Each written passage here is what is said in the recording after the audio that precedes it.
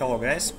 So today I'm going to talk about sacral inner authority, and it is a yeah, it is a tricky one uh, because quite a lot of times the patterns that are described uh, when people talk about this authority actually do not correspond to the experience that you might have.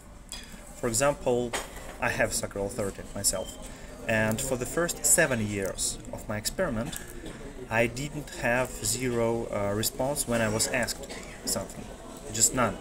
There was no verbal response, there were no sounds, there wasn't even feeling, nothing.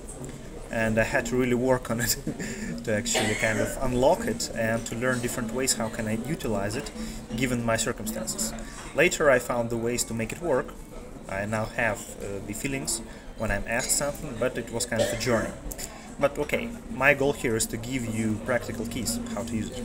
So first of all, uh, the main thing you have to understand is that sacral authority, it basically is very primitive. Uh, you, as a person who has it, you always exist in one of two states. You are either sacrally frustrated or you are in the state of sacral satisfaction. Each each second of your life, you're either frustrated or satisfied.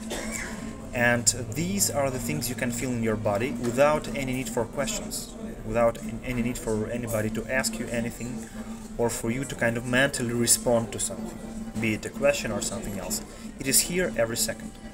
So one of the first things you can do is to just learn to notice what is going on in your body. Just look at how it feels when you do the things that you naturally do every day, even the basic ones. What I have found, and what you may find, is that uh, each second I am either in the feeling of satisfaction, in the feeling of sacral bliss, or I'm in frustration. Uh, it is a feeling that can be maybe tricky for some people to kind of get quickly, uh, because uh, on one hand it is felt in the whole body, yes. On the other hand, it has an epicenter in the sacral region, which is basically the width your four fingers under your navel, inside of the body in the center of it. There is this, uh, the epicenter of the sacral center, and from out there, this uh, feeling kind of irradiates to your whole body. People, different people have different sensitivities, so it might be hard for some people to notice these things. Some people notice them very quickly, but first of all, this is the first thing you can do to actually look for it, yeah, to basically check for it. So what is it that you feel in your body when you do whatever you do? Uh, one of the very simple exercises I, I that kind of naturally did uh, was when I would go to the uh, supermarket and I have to buy some milk. And I, I have to choose, will I buy this type of milk or that type of milk? What I did, I would just take the pack, pocket, pocket, pocket, pocket.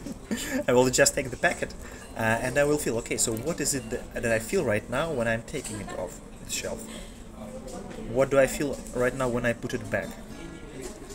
What do I feel when I uh, take a different type of milk? What do I feel when I put it back? So the main goal here is to learn to contrast your feelings. So you can uh, do, oh, you have some kind of choice that you have to make right now. Am I, do I really want to take this milk? This type of milk or that type of milk? Or no type at all?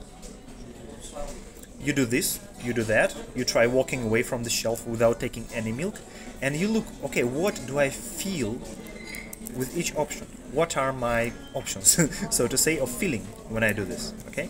And you contrast them against each other, and you just look at what feels good, what feels whole, what brings you this feeling of pleasure, of joy, because actually sacral satisfaction is not a thing that comes after your decision. It is a feeling that you experience throughout your whole process of actually doing something that is correct for you. So basically you can live in it 24-7. yeah. Uh, and you can actually make very small decisions using it. So okay, do I want to drink this tea right now or not? You take it and you look, okay, what is it that I feel right now? You put it back, you look, what do you feel? Uh, it can be used in conversations. Okay, so what do I feel when I begin to speak this thing, or when I begin to speak that, that thing, right?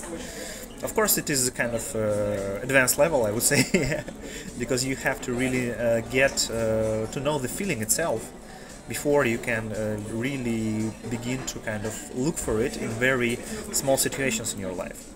But it is a beginning. You can begin to measure these feelings of frustration and satisfaction in different activities whenever you, uh, you do something. So this is the first kind of level of what you can do. You just look, okay, when I'm satisfied or when I'm dissatisfied. Okay, and now let's talk about these feelings of satisfaction and frustration a little bit more. Because for some people these uh, terms might be confusing. Of course, because they are not uh, full descriptions, they are just keywords. Uh, I would say that in my experience, uh, sacral satisfaction is more akin to physical joy that you experience. It is not uh, super uh, exciting, it is not super nervous, it doesn't make you jump up and down. Just a very calm but deep feeling of bliss, of bliss in my body. There are actually different types of sacral satisfaction depending on your channels but okay again because everybody has different channels we have to kind of investigate this thing separately and to really do this it would require a basic reading to kind of give more keywords that would help a person to recognize his personal brand of sacral satisfaction and frustration also. But generally uh, and it actually applies for everyone there are just little kind of uh, nuances to it because generally uh, sacral satisfaction in everyone is this physic is, is, this feeling of physical joy. And yes there is also this element of satisfaction to it. While frustration um, it may be hard to actually put into words at first. It is really it really becomes easier when you can measure them against each other. But uh, frustration actually what you may not even think about it as frustration. Because quite probably this is the feeling that you live uh, most of your life with. I didn't know I was frustrated before I, for the first time in my life, experienced dissatisfaction consciously. And when I understood that, wow, I can feel this all the time, all the time. Well, compared to that, my whole previous life was really frustrating. But before that, I didn't know. And this feeling of frustration, uh, it is kind of an undertone of deadness in the body. Uh, yes, there is element of frustration to it also. Um, again, uh, different people might have different associ associations and words they kind of link to this feeling. So we can basically go with the very basic polarity: I feel good, I feel bad, uh, which you can use to in your experiment to measure against each other. Okay, do I feel good when I do this right now, or do I feel bad? Do I feel better when I do this thing instead of the first one, or not?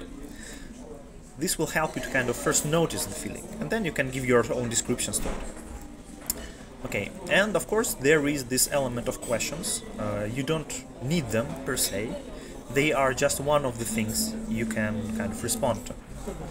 Uh, but of course they do have their place, they do exist. Uh, some people have sacral sounds, kind of uh, glottal uh-huh, uh-uh, that go out of them when they're asked. Uh, some people don't have them.